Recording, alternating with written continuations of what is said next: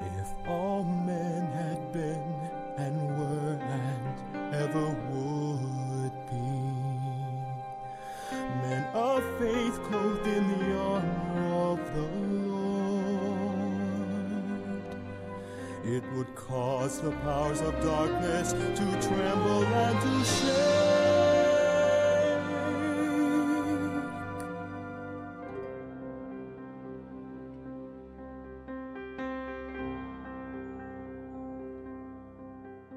When the story of heroes is told,